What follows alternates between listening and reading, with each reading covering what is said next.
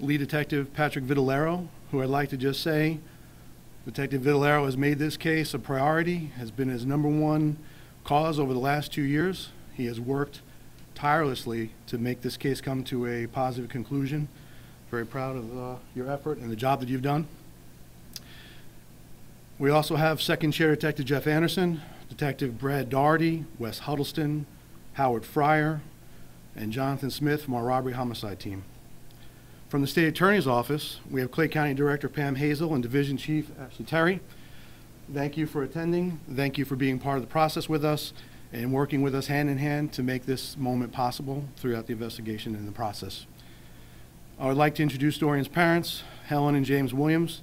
Mrs. Williams, as we just spoke before, you've been a steadfast supporter, and I appreciate your faith in us, and I appreciate you being by our side through the process.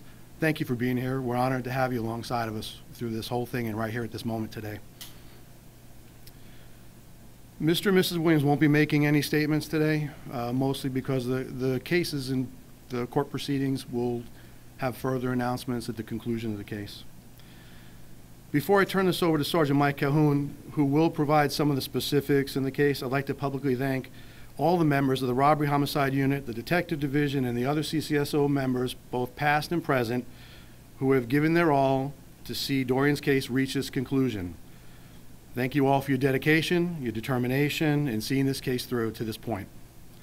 This moment is only possible due to the relentless pursuit of the truth by our detectives and our partnership with the State Attorney's Office. I'm proud to be a part of this team.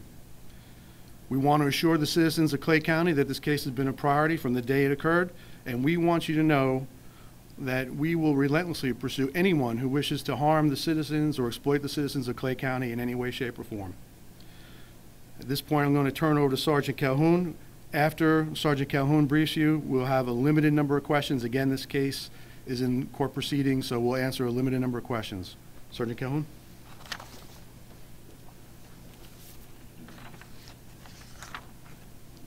Good afternoon. My name is Sergeant Mike Calhoun. I'm with the Robbery Homicide Unit here at Clay County Sheriff's Office. I'll give you an overview of, of the case specifics and then I'll answer any questions. On October 17, 2017, the Clay County Sheriff's Office responded to the 300 block of Capella Road in Orange Park. Uh, the response was in reference to a death investigation. Uh, members of my team, the Robbery Homicide Unit, um, assisted with the District 4 Medical Examiner's Office, were able to determine that the victim, Dorian Mann, uh, suffered a gunshot wound and was deceased. Uh, that case was ruled a homicide by the District 4 Medical Examiner's Office. Um, like the chief said, through a relentless pursuit, the detectives were able to identify two suspects in the case. Henry Williams from Jacksonville and Jakari Anderson, also from Jacksonville. On May 7th of 2019, this year, Henry Williams was taken into custody and charged with armed carjacking. On October 7th, 2019, Jakari Anderson was arrested at her home in Jacksonville and charged with second degree murder and carjacking. I'll take any questions you all may have. What links each of those two to this case? How were you able to make the connection? Uh, Jakari and Henry are associates. They, they're, they're known to each other and been and friends.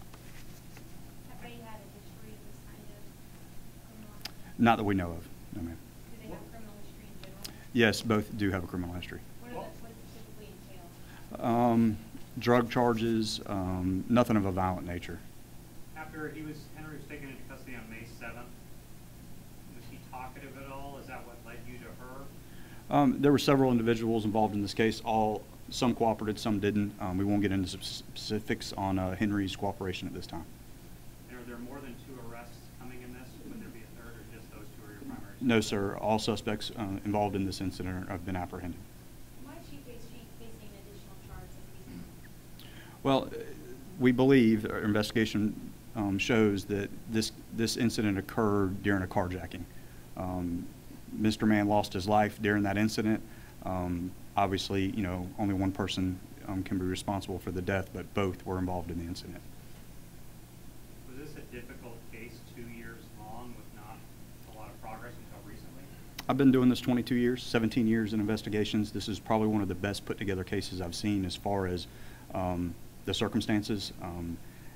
It was well put together. A lot, a lot of work was put into it. It, it's, it stands alone um, as far as a difficult case. What do you mean as far as put together, as far as investigatory tools? That, So for two years, it was investigated. This is not a case that was investigated for six months and set to the side, and then something just developed. Um, Detective Vitalero, Detective Anderson, they never stopped investigating this case. It literally took two years to put this together. Were there, were there several witnesses to what happened you talked to? Um, Dozens of witnesses were talked to. Did you suspect them for a while, and if so, what changed to where you could pin something on them?